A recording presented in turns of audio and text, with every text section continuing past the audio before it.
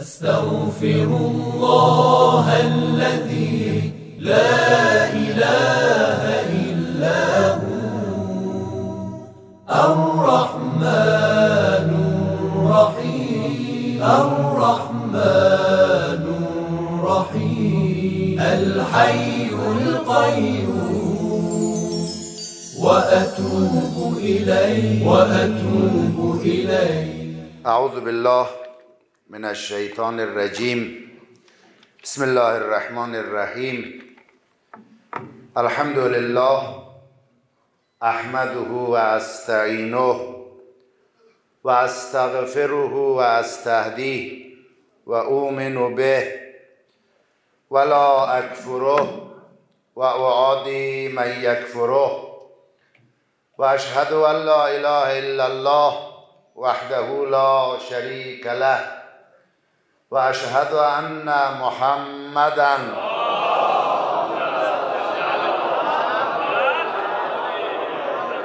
عبده ورسوله أرسله بالهدى والنور والموعظة على فترة من الرسل وقلة من العلم ودنو من الساعة وقرب من الأجل من يطع الله ورسوله فقد رشد ومن يعصهما فقد غوى وفرد وظل ضلالا بعيدا عباد الله اوصيكم و نفسی به تقوی الله. خداوند علی علا را بر توفیق حضور در مراسم نماز جمعه سپاسگزاری می کنم خودم که از همه بیشتر نیازمندم. همه شرکت کنندگان خواهران و برادران را به رعایت تقوا پرویش پیش پروا پیشه کردن سفارش می‌کنم. تقوایی که عامل سعادت ما عامل موفقیت همه جانبه در دنیا و آخرت ما هست. تقوایی که اگر حفظ کنیم می توانیم با اون وسیله همه زیانها و ضررها را که همه انسانها را تهدید می کند از خودمان دور کنیم. درهای مختلف را پشت سر بگذاریم و به جایگاه سلامت نائل بیاییم. تدافعت الابواب الى باب سلامه در خطبه اول به مناسبت ایام ولادت صدیقه اطهر زهرای مرزیه سلام الله علیها که امروز بیست و دوم ماه جمادی الثانی است بیستم این ماه در سال پنجم بعثت یا قبل از هجرت هشت سال قبل میلاد اون مجلله مکرمه بوده.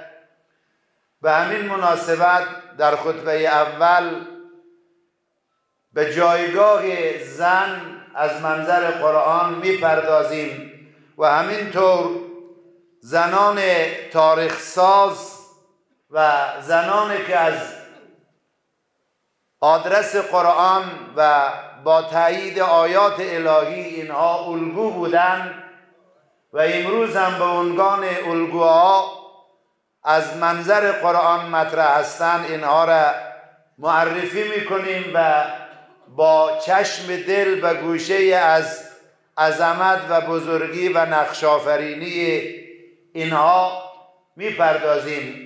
خطبه دوم با توجه به اهمیت نماز جمعه این رسانه همگانی این اجتماع سرنوشت ساز و بیدارگر و نزدیک کننده دلها و اندیشه ها بخشای از جایگاه این مجلس و محفل و این حرکت عبادی سیاسی اجتماعی را با استفاده از آدرس های قرآن و روایات و اندیشمندان و خردورزان و گفتگو خواهیم نشست و در بخش پایانی خطبه دوم مسائل جاری جهان اسلام مخصوصا افغانستان از موضوعات است که باید به اونها بپردازیم. اما مسئله اول موضوع زن و جایگاه زن و الگوهایی که ما در تاریخ اسلام و از منظر قرآن داریم. نکته ای که باید عرض کنم در عهد قدیم و همینطور در عهد جدید یعنی در باور یهودی ها و مسیحی ها البته یهودیت تحریف شده و مسیحیت تحریف شده زن را یک مخلوق در واقع زیان آور می‌دانند. بر اساس باورهای ناسالمه که در اونجا درد شده و به مردم تفهیم شده می‌گویند از بدن حضرت آدم علی نبینا و علیه السلام یک دنده و یک استخوان را در آوردن و بعد بدن حضرت آدم را ترمیم کردن بعد از اون استخوان کج زن را خلق کردن در عهد قدیم در عهد جدید شما این عبارت و این مفاهیم را می توانین پیدا بکنین. اما با اسناد و با استدلال به آیات قرآن جایگاه زن را به نظاره می نشینیم.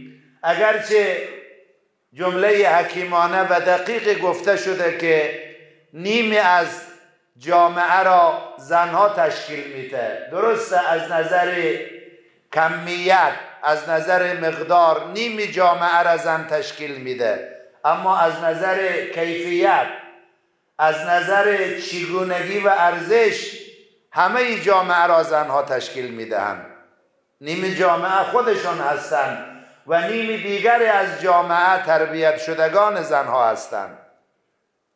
همه مردان از دامان زنان تربیت شدند و صحنه زندگی را در واقع مادران و زنان مدیریت می‌کنند.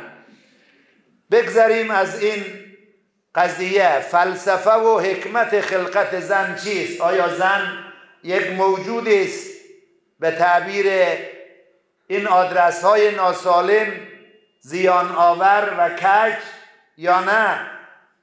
خلقت زن هدفمندانه است. ما باید از قرآن بیاموزیم. لا رتب ولا یابس الا فی کتاب مبین.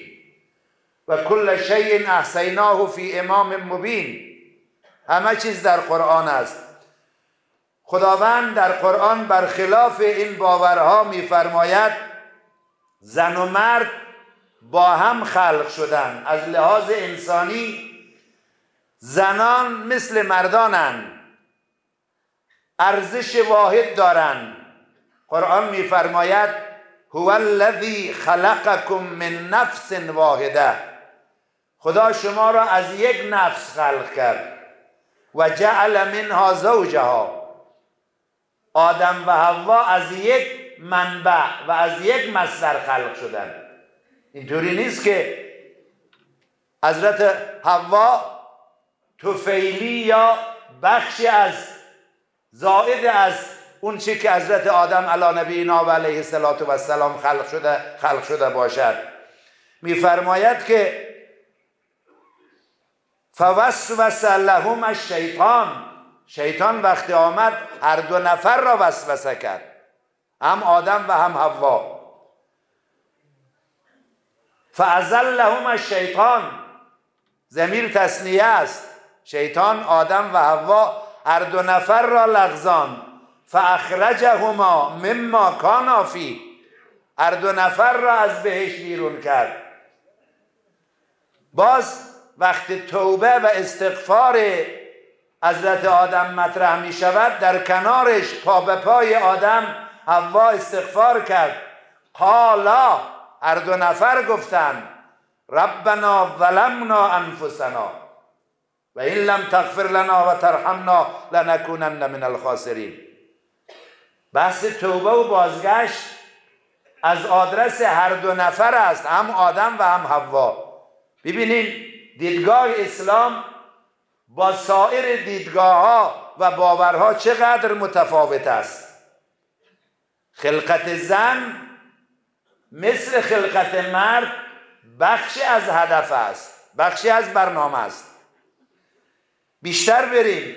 چرا خلقت زن را خداوند در کنار خلقت مرد لازم دانست خدا میفرماید زن مثل مرد با عبادت و بالاترین کمال و جایگاه می‌رسد.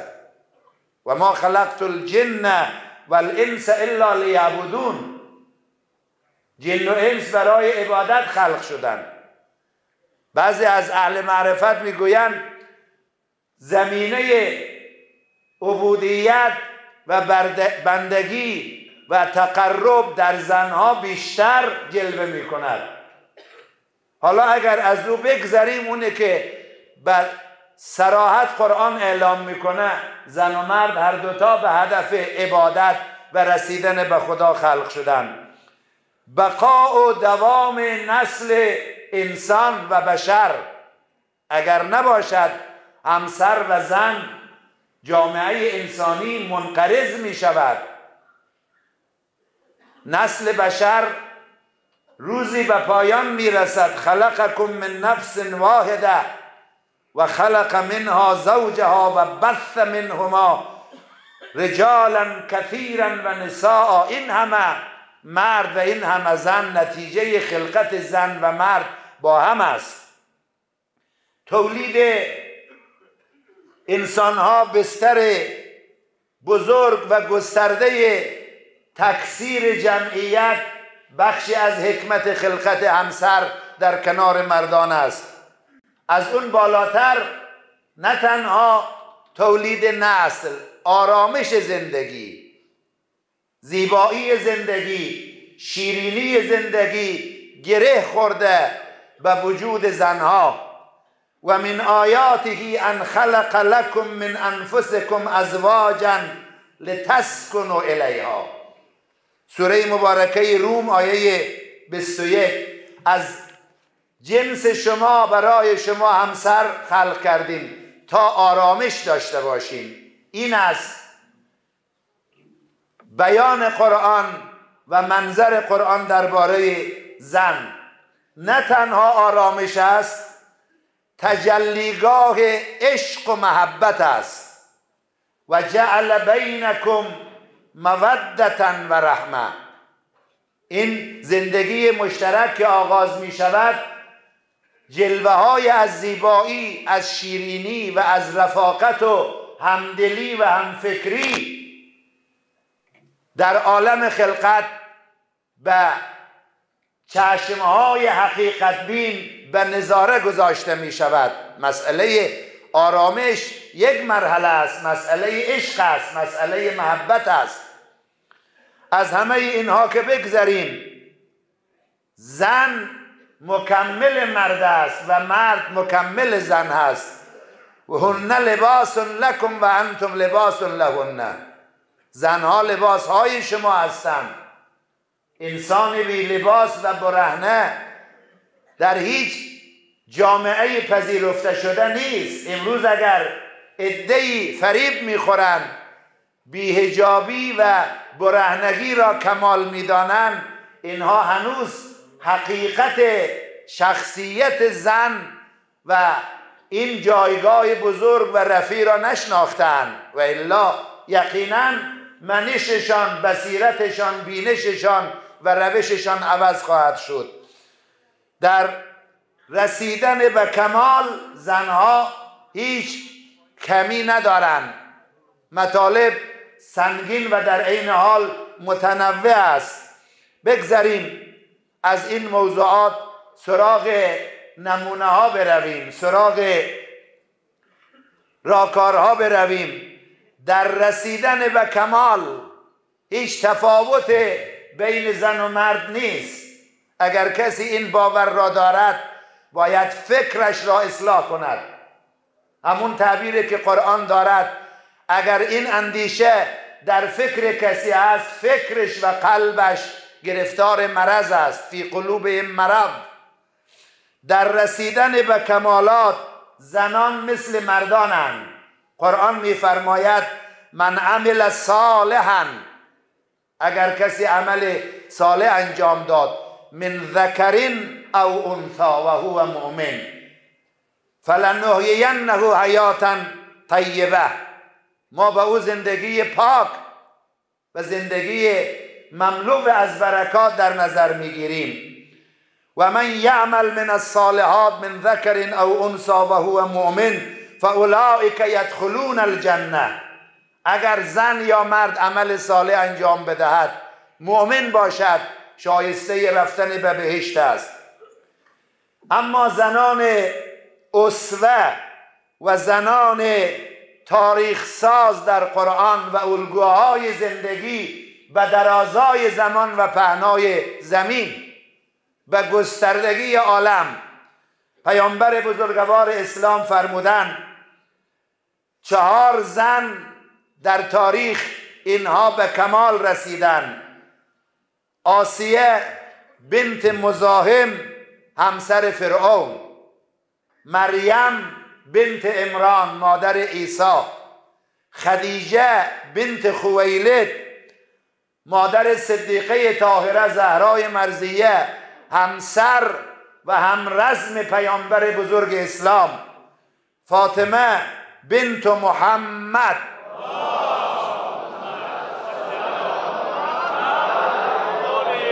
یکی از زنان که حضرت نام برد دختر بزرگ که از او تعبیر به مادر کرد و از او تعبیر کرد اگر دنبال رضای خدا هستین. رضایت زهرا رضایت من و خدا را به دنبال دارد و خشم او خشم من و خدا را به دنبال دارد.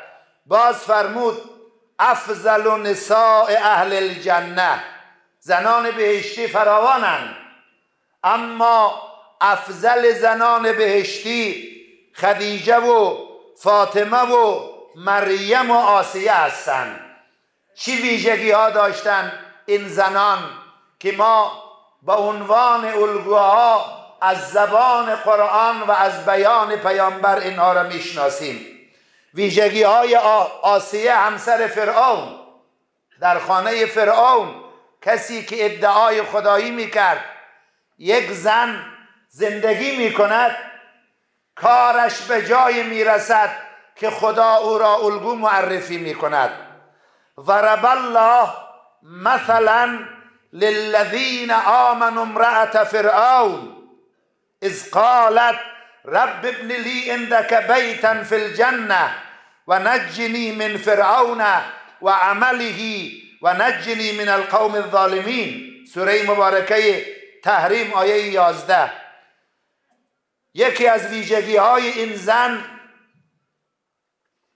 تابو شکنی است. ایجاد تغییر و تحول است. تاثیرگذاری این زن در فرهنگ بسته محیط فرعون است. در خانه مظهر شرک و کفر زندگی می کند. اما زیر تأثیر و فرهنگ کفر و شرک قرار نمی گیرد. بنبسته ها را می شکند. تاریکی ها را می پاره می کند و به سمت نور حرکت می کند و دیگران را هدایت و رهبری می کند در جامعه که منطق جایگاه ندارد خرد جایگاه ندارد این زن در محیط بسته در مقابل امواج از سختی ها و فشارها قرار می گیرد و رژیم فاسد فرعونی را می شکند و از اونجا حرکت می کند به کم قانع نمی شود می گوید خدایا مرا نجات بده و در, در بهشتت و در قربت و در زلفای خودت برای من جا در نظر بگیر. این مقاومت یک زن است. این الگوی مقاومت است. این الگوی پایداری و صبوری است. مسئله دوم که این زن الگو شده زهدش است. مظاهر دنیا زرق و برق مادیات اسیرش نکرده. امروز اگر دختران جوان ما اگر پسران جوان ما این الگوها را نشناسند یقینا توطعه دشمن شبهات که دشمنان در سراسر دنیا به کار می‌گیرن. اینها را به سمت ذلت و خاری و درماندگی می‌برد. اون چرا که ما امروز شاهدیم در خیلی از کشورها و در خیلی از جوامع که از زن به عنوان یک وسیله استفاده می‌کنن و بهره می‌برن. دومین عامل الگو شدن آسیه زهد و پارسایی او است. سومین ویژگیش صبر و استقامت است. همسر فرعون الگوی صبر است الگوی شکیبایی است. همه سختی ها را تحمل می کند شکنجه ها را با جان میپذیرد.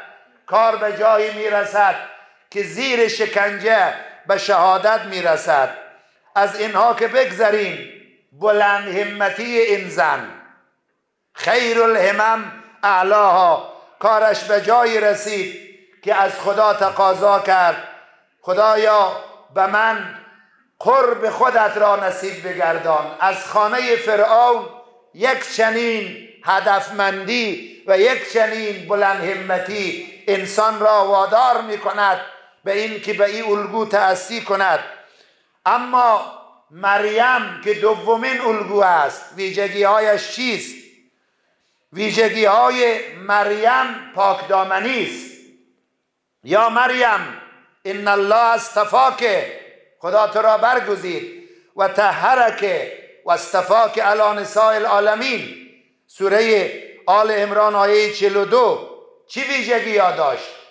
پاکدامنی در اوج جوانی با افت و پاکی زندگی کرد.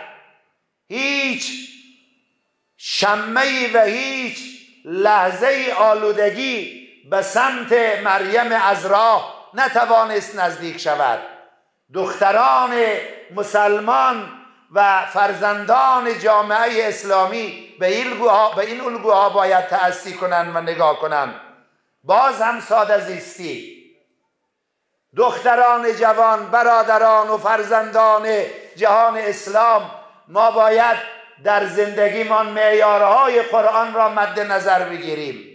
تجمل گرایی خود عرضه کردن فریب دادن اینها دامهای شیطانند که جوانان ما و زنان و مردان ما را به سید می‌کشند و به کشتارگاه و به قتلگاه باور و فرهنگ می‌برند باید زندگی را از قرآن و از شخصیت هایی که قرآن معرفی می‌کنه یاد بگیریم. خدمتگذاری به خدا. خدمتگذاری به بیت المقدس. و معبد. امروز افتخار می‌کنیم که جوانانمان در این برهه در این شهر در جای جای جهان اسلام با مراکز عبادی سر و کار دارند. در خدمت مشاهد و مشاعر و مناسبت ها و مجالس و محافل اسلامی هستند. این رمز پیروزی و رمز سربلندی است. مریم خدمتگزار مسجد اقصا این معبد بزرگ و این آدرس ماندگار اسلام و حقیقت و انبیای الهی شد. ویژگی های ام المؤمنین خدیجه چیست؟ سلام الله علیها که در روزهای ولادت فرزند برومندش و دختر با کمال و بیبدیلش هستیم. پیغمبر بزرگوار اسلام فرمود روایت را که در صحیح مسلم در کتاب فضائل الصحابه در بخش فضائل حضرت خدیجه ام المؤمنین نقل شده. پیغمبر فرمود اتا جبرائیل جبرائیل به دیدن پیغمبر آمد. فقال هذه خدیجه. عرضه داشت یا رسول الله خدیجه می آید. قد اتت معها اون مغطا. با خودش ظرف سرپوشیده ای را می آورد. فیه ادام او تعام خورش قرمه یا غذایی برای تو می آورد. او شراب. یا آشامدنی فاذا هی اتک جبرئیل گفت وقتی خدیجه آمد فقر فقر علیه السلام. من ربها و منی السلام. یا رسول الله از جانب خدا و از جانب من جبرئیل به خدیجه سلام برسان. این همسری است این همسنگری است این الگوست از ام المؤمنین آیشه همسر دیگر پیغمبر روایت داریم. ان آیشه قالت کان رسول الله اذا ذکر خدیجه لم یسأم من سناء علیها. وقتی پیغمبر بعد از رحلت خدیجه طبق نقل امسر پیغمبر از خدیجه یاد می‌کرد از بس خوبی های خدیجه را می‌گفت از بس فضائل خدیجه را یاد می‌کرد. احساس خستگی نمی‌کرد. خسته نمی‌شد از فضائل خدیجه و استغفار لها. برای همسرش طلب استغفار می‌کرد. فذکرها یوما. مرتب پیغمبر از خدیجه یاد می‌کرد. بعد سوال برای همسر رسول الله بیبی بی آیشه ام المؤمنین مطرح شد گفت که لقد عوضک الله من کبیر من کبیر سن خب همسر پیغمبر خدیجه سنش از پیغمبر بیشتر بود بعد گفت یا رسول الله خدا به شما زنهای جوانتر با سن کمتر نصیب کرد پیغمبر فرمود اون چرا که در کنارم از خدیجه برای رسیدن به کمال و برای خدمت به جامعه انسانی خدا نصیبم کرد. بی سابقه بود. فرمود والله لقد آمنت بی از کذبن الناس. به خدا قسم اون روز خدیجه به من ایمان آورد که مردم مرا قبول نداشت. ببینین تحول از کجا شروع میشه؟ فرمود آوتنی ازا رفزن الناس. او زمان به استقبال من آمد. در کنار من بود که مردم از من دست کشیده بودند. و رزقت منها الولد و حرمت. فرمود خدا از خدیجه به من فرزندان روزی کرد. بعد جای دیگه میفرماید هیچ مال به اندازه مال خدیجه به نفع اسلام نبوده. اینها الگوها هستند وقت و زمان ایجاب نمی‌کنه. اما زهرای مرزی سلام الله علیها که ایام ولادتش هست. یکی از ویژگی های زهرا این است که سیده نسای اهل بهشته. حتی جایگاه زهرا از آسیه و مریم و خدیجه در بهشت بالاتر است. وقتی خداوند حضرت آدم را خلق کرد خداوند روحش را در او دمید. آدم به جانب راست عرش خدا نگاه کرد. پنج شبه و پنج هیکل را در حال رکوع و سجود دید. سوال کرد خدایا آیا کسان دیگری از خاک و گل قبل از من آفریده ای؟ خداوند فرمود نه. ای آدم سوال کرد پس این هیکل ها که در حال رکوع و سجودن در کنار عرش تو در سمت راست عرشت اینها کیان فرمود اینها پنج تن از فرزندان تو هستند اگر آنان نبودن تو را هم خلق نمی کردم این جایگاه فاطمه است. به همین دلیل عرض کردم در هفته گذشته که همه مسلمان ها بیاییم یکی از راه های شناخت پنجتن را بیشتر توجه کنیم و اون حدیث شریف کساست. روایت را که خواندم از مرحوم جوینی شافعی در کتاب فرائد و سمتین است. فاطمه خیر کثیر است. انا الکوثر. خدا به پیغمبر افتخار دادن خیر کثیر را مطرح می کند مصداق خیر کثیر زهرای اطهر است.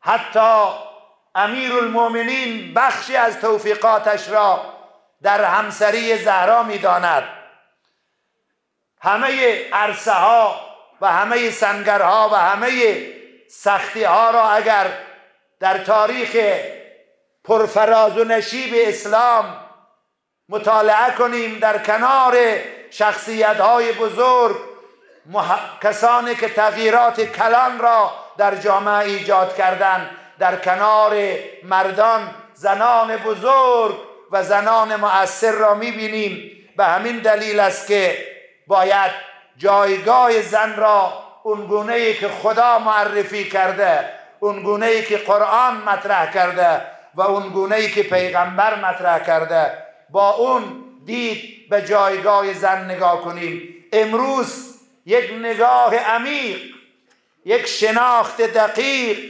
ما و مردم ما و جهان را می‌تواند به سمت یک آرامش و یک موفقیت و یک نزدیکی بکشاند و اون دقت و بصیرت و فهمیدن است که بنیانگذار این جهاد بنیانگذار این بیداری زهرای اطهر است. زهرایی که پیغمبر فرمود اگر زیبایی به شکل انسان می بود اون انسان فاطمه بود. اعوذ بالله من الشیطان الرجیم. بسم الله الرحمن الرحیم. انا اعطیناک الكوثر فصل لربك وانحر. ان شانئك هو الابتر.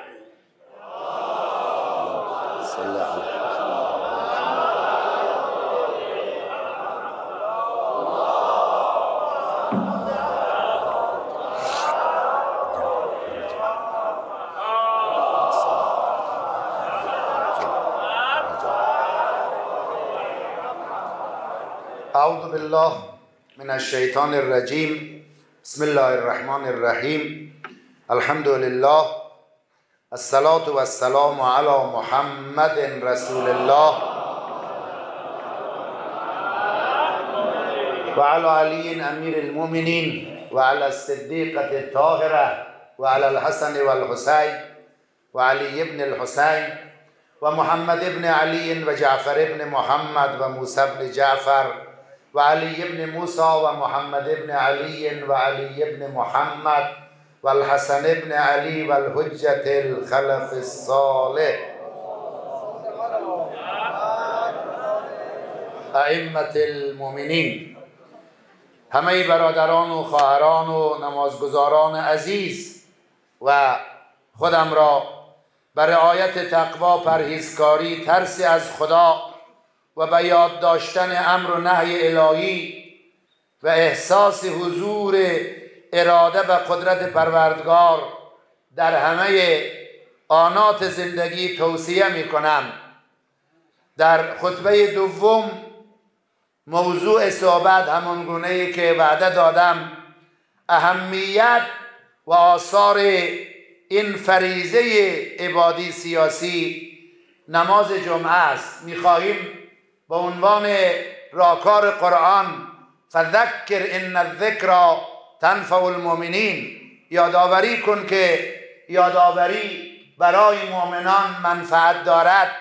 خطبه دوم گوشه ای از جایگاه نماز جمعه را با همدیگر مجددا مطالعه می کنیم گفتگو می کنیم و به نظاره می نشینیم اسلام دین جامع است هم به فکر آخرت انسان هاست هم به فکر دنیای انسان هاست هم معنویت هم زندگی هم پیشرفت هم آرامش. همه جانبه برای ما راهنمایی می کند نماز جمعه نمادی و نمودی است. از همپیوستگی معنویت و زندگی مادی. نماد از آخرت باوری و رسیدن به دنیای زیبا و بی دغدغه و دنیایی که بتواند آخرت ساز باشد.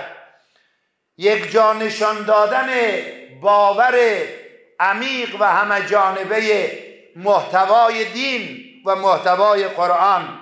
به همین دلیل است که این نماز سرشار است از شور و از حماسه و از شعور و بیداری. حماسه و عزم و جدیت و مبارزه و عدالت خواهی را در کنار عقیده و آرمان به انسانها و به جوامع معرفی می کند این نماز را با این منظر ببینین و با این نیت که عاشقانه شرکت می‌کنین بیش از این شرکت کنین. نه تنها در این مسلا در همه مسلاهای جهان اسلام در همه میادگاه های نماز جمعه. این نماز بیداری و همدلی و عزت و سربلندی جهان اسلام. تابلوی را که خدا با عنوان عزت معرفی کرده ولله العزه ولرسوله وللمؤمنین. این تابلو و این بیرق و این پرچم به دست شما نمازگزاران و همه عاشقان نماز جمعه در سراسر جهان به احتزاز در می آید.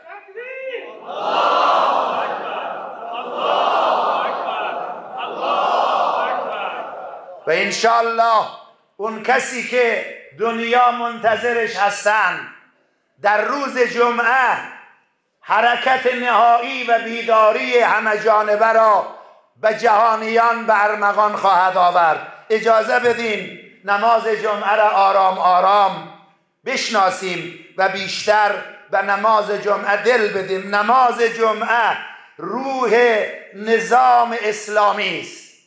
همون گونه که جسم ما بی روح قدرت ندارد. روح وقتی گرفته شد جسم بی حرکت می شود. نظام اسلامی حکومت اسلامی مدیریت اسلامی اگر نماز جمعه ندارد روح ندارد.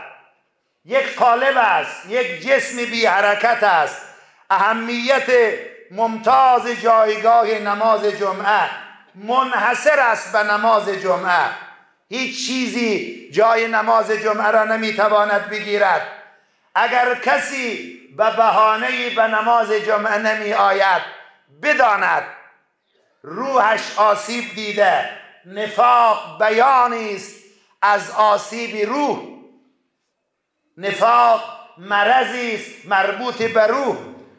توصیه به تقوا یکی از این عامل زنده شدن روح است. نماز جمعه اجتماع است. اجتماع روشنگر. آگاهی ساز آهاد مردم.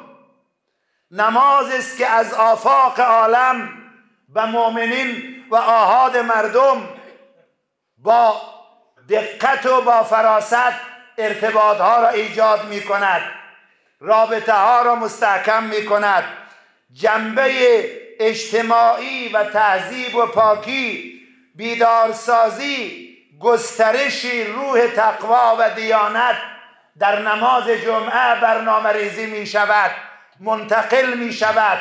من کسی را از همین نماز جمعه می شناسم که امروز در آمریکا یک دانشجو است امام جمعه است.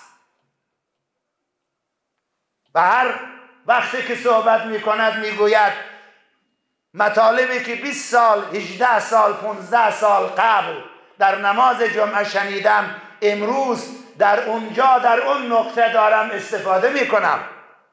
این است برد نماز جمعه.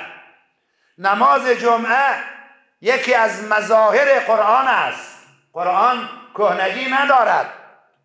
آیا خواندن قرآن آیات قرآن کهنه می شود؟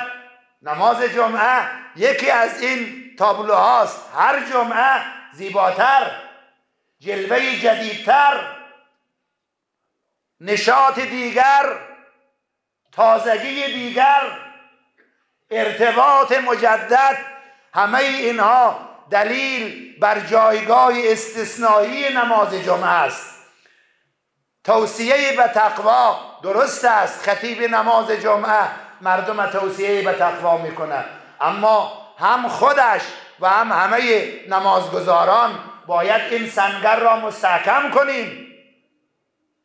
لحظه به لحظه در خانه در مسافرت در اداره در برخورد در محیط کار باید این توصیه را سرمشق کار و برنامه زندگیمان قرار بدهیم. به همین دلیل است که خدا در قرآن نماز جمعه را با آیه و سوره معرفی کرده اذا نودی للصلاه من یوم الجمعه فسعوا الى ذکر الله و ذر البیع عبارت که در این آیه آمده از جامعیت این فریزه و دارا بودن جنبه معنوی و عبادی از یک سو و جنبه زندگی اجتماعی و سیاسی از سوی دیگر است. فس او الى ذکر الله.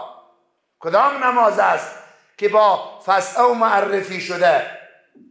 جنبه دیگر نماز جمعه رسانه فراگیر.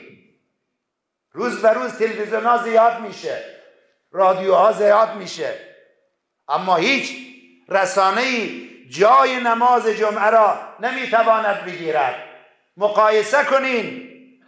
کدام رسانه روح انسانها را به اندازه نماز جمعه می‌تواند زیبا کند روشن کند؟ روحها و دلها را اینقدر مصفا کند در حالی که چقدر هزینه می شود به رسانه ها چقدر امکانات اما میزبان شما ملائکه ها است. یک تعداد جوان مخلص. با کمترین امکانات. بیشترین دستاورد. این فضا قابل تحلیل است. کارشناسا متخصصین روانشناسای دنیا باید بیایند.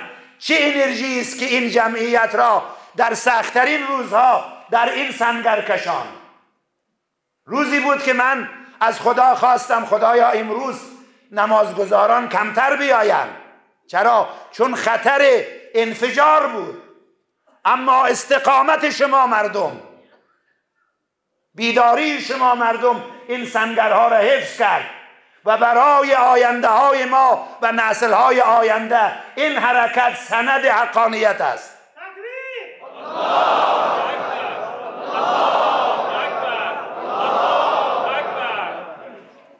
این رسانه با سایر رسانه ها قابل مقایسه نیست.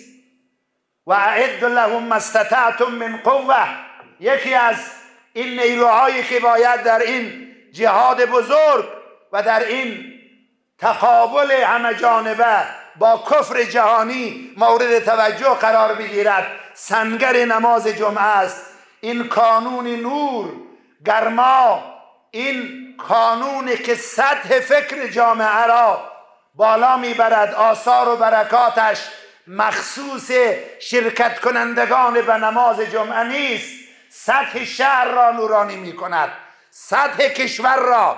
خیلی ها شاید به نماز جمعه نیایند اما وقتی افتخارات نماز جمعه مطرح است اونها هم افتخار می‌کنند. کسانی که اینجا می آیند برکت اینها باعث آرامش دیگرها هم هستند. نه این نماز جمعه همه این نماز جمعه هایی که با متد و روش الهی برگزار می شود نماز جمعه و خطبه های سازندهش که ویژگی های خاص خودش را دارد. یکی از آثار خطبه های نماز جمعه تقویت ایمان است. یکی از آثار نماز جمعه و خطبه های جمعه قوت فکر است. یکی از برنامه ها و دستاوردهای خطبه های نماز جمعه خطوط اصلی سیاست و حرکت جامعه را روشن می کند مسیر حرکت مردم را تبیین می کند موضعگیری در مقابل توطعه های دشمنان دستاورد دیگری از نماز جمعه است. از همه اینها همدلی وحدت مصداق بارزش همین نماز جمعه است که الحمدلله و المنه از این نعمت بهرمندیم شاید مطالب دیگری هم داشته باشه داشت هست و فرصت ایجاب نمی‌کنه. من یک مقدار مسائل جاری را بگویم. مخاطبان نماز جمعه از بهترین بخش های نماز جمعه است. حضور زنان پیرمردان علما جوانان اقشار مختلف. این باغ معطر و این باغ زیبا را با همه دنیا از مقایسه فاصله می اندازد و جدا می کند تمام اون که در یک جامعه برای بیداری لازم است در فضای نماز جمعه امکان دیدنش و امکان نظارش هست. به همین دلیل است که بخش این حرکت مربوط به شماست. بخش عظیمش مربوط است به شرکت کنندگان و مخاطبان و شنوندگان.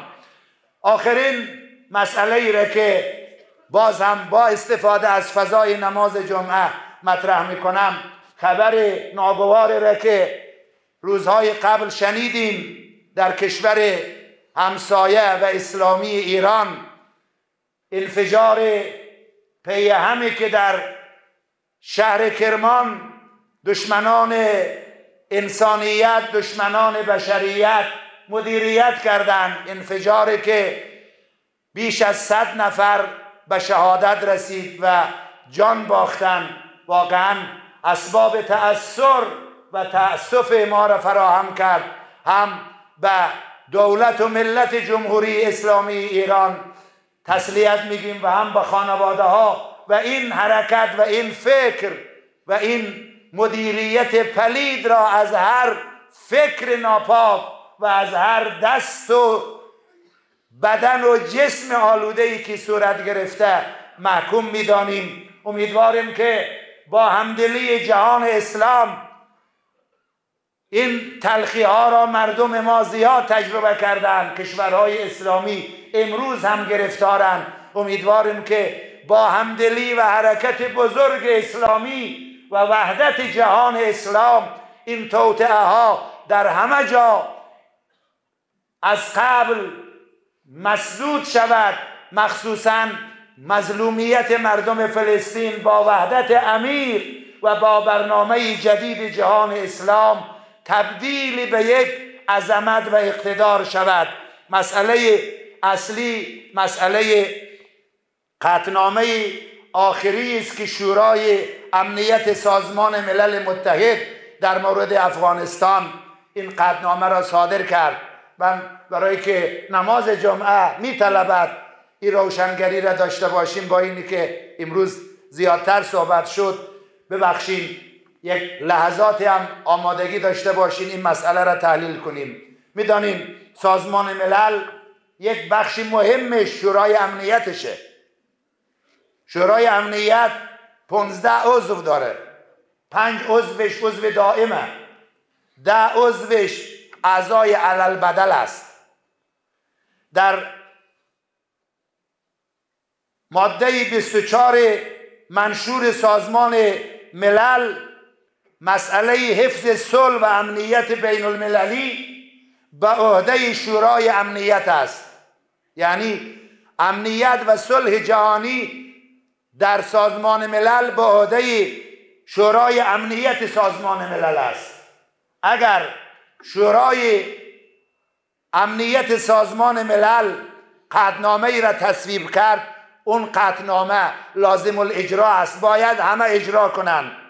آخرین قطنامه ای را که درباره افغانستان شورای امنیت صادر کرد قطنامه 27 21 است در تاریخ 29 دسامبر 2023 یعنی چند روز قبل درباره چگونگی تعامل با افغانستان افغانستان فعلی.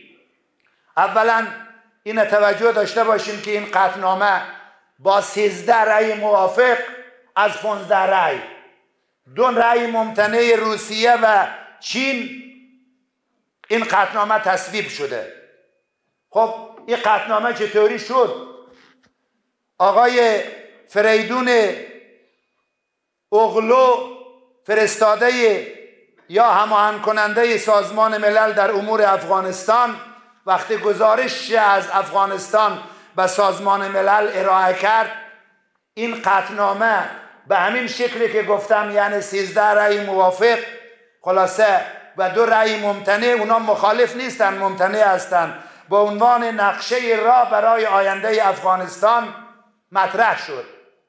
چرا دنیا سازمان ملل شورای امنیت مسئله خلاصه افغانستان جدی گرفتن؟ خب امروز در افغانستان خیلی از مسائل مطرح است. یک بخش مسئله مربوط به جهان می شود. امروز جهان نمی تواند در قبال یک نقطه ای از جهان بی توجه باشه. هر نقطه ای اگر مشکلی داشته باشد از اون نقطه نقاط دیگر آسیب پذیرند ما برای اینکه همه دنیا را بتوانیم در یک مسیر امن و صلح و آرامش بکشانیم باید همه کشورها سهم خودشان را اجرا کنند. مثل یک شرکت میمانه که همه کارمندان و اعضای اون شرکت مسئولیت دارند همه زینفعانی که در این قضیه سهم و نفع دارند باید به این مسئله توجه بکنند پس یک بخش قضیه مربوط می شود به جهان. اوضاع سیاسی افغانستان تاثیر مستقیم بر منطقه و جهان دارد که این بخشی از قضیه را تشکیل می دهد به همین دلیل هستند که قضیه را جدی گرفتن. مسئله دیگر مسائل موجود در افغانستان است. بحران مهاجرت این یک حقیقت است. بحران گرسنگی این یک حقیقت است. مشکل تحصیل و آموزش اینها قضایایی است که نمی شود از کنار اینها گذشت. به همین دلیل است که نماینده ویژه سازمان ملل تاکید بر روی کرده منسجم کشورهای جهان درباره مسائل افغانستان دارند من بیشتر از این فرصت ایجاب نمی‌کنه صحبت کنم. حالا میمانه که باید با این قطنامه چگونه برخورد شود؟ یک فرصتی است. درسته. اجرای محتوای قطنامه ممکن است به دست بعضی ها مورد سوء استفاده قرار بگیره. ما در گذشته هم داشتیم کسانی را که به نمایندگی از سازمان ملل آمدن اما صادقانه کار نکردند به نمایندگی از کشورها آمدن صادقانه کار نکردن. بر ماست که هم اون طرف را مدیریت کنیم هم حقوقمان را در قبال این برنامه صادقانه مطالبه کنیم و پیگیر باشیم. یعنی مثل همه چیز نیاز به یک دلسوزی داره. اگر امروز این رابطه ای که با جهان داریم مدیریت نشود دور نیست و این احتمال بعید نیست که دشمنان افغانستان قدرت های ظالم و گر و منفعت طلب با استفاده از شرایط موجود نیروهای نیابتی را در این کشور سازماندهی کنند و اوضاع و شرایط را تبدیل به یک بحران و منشه منفعت و سود برای خودشان کنند. به همین دلیل است که بر همه ما بر ملت و بر سازمان ها و بر مسئولین و بر بزرگان و بر رهبری و شخصیت هایی که در افغانستانند و آینده و امروز ملت منتظر هوشیاری دلسوزی و درایت و دقت آنها هستند میطلبد که از این فرصت ها به نوع احسن استفاده کنند الفرصت تمر مر السحاب فرصت ها میگذرد. امیدواریم که با دلسوزی و آینده نگری و جامعیت قضیه ای را که امروز ما شاهدش هستیم به نحو احسن و به نفع ملت و دولت افغانستان مدیریت شود. خدایا کشور ما را از همه مشکلات از همه سختی ها از همه دشواری ها با لطف و عنایتت و آبروی خوبان عالم و مقربان درگاهت مخصوصا صدیقه طاهر زهرای مرزیه سلام الله علیها که ایام ولادتش هست. خدایا نجات مرحمت بفرما. برکاتت خدایا عزت و اقتدار نصیب ملت و دولت ما بگردان. توطعه های کفر و شرک و دشمنان قسم خورده اسلام به خودشون برگردان. ملت ما را دولت ما را در محوریت قرآن در محوریت اخلاق پیغمبر به همدیگه نزدیکتر و مهربانتر بگردان. خدایا حافظان امنیت خدایا سربازان تأمین امنیت در هر سنگری که هستند سنگر فیزیکی و سنگر فکری و فرهنگی و تاییداتشان بیافزا خواهران و برادرانی که با حضورشان صحنه های عزت نمازهای جمعه را یاری می‌کنن عزت دنیا و آخرت نصیبشان بگردان.